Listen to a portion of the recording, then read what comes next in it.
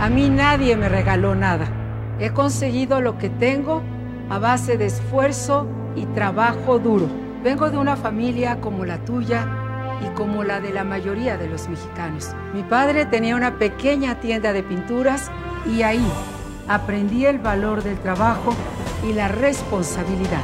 Soy Josefina Vázquez Mota. Quiero construir un México diferente y con tu ayuda, sí es posible.